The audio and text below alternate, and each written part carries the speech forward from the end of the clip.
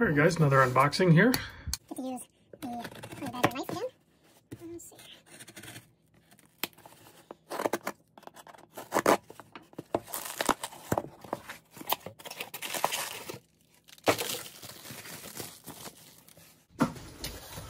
Oris.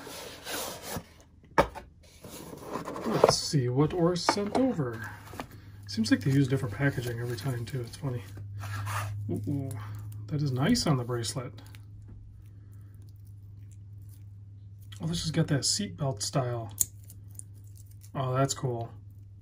The last time I was checking out that style, it was on like a canvas strap. I didn't realize they used that same buckle system on the actual bracelet. I dig that.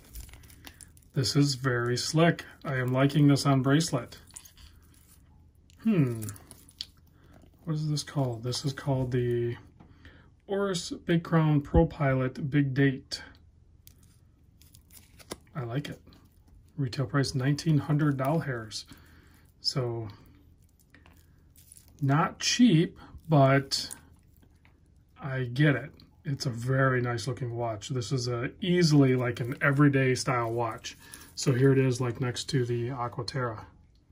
Very similar in size and feel. But you have a nice bracelet with a cool fold over clasp, not a butterfly clasp. So that's a win for Oris. Thanks for watching, guys.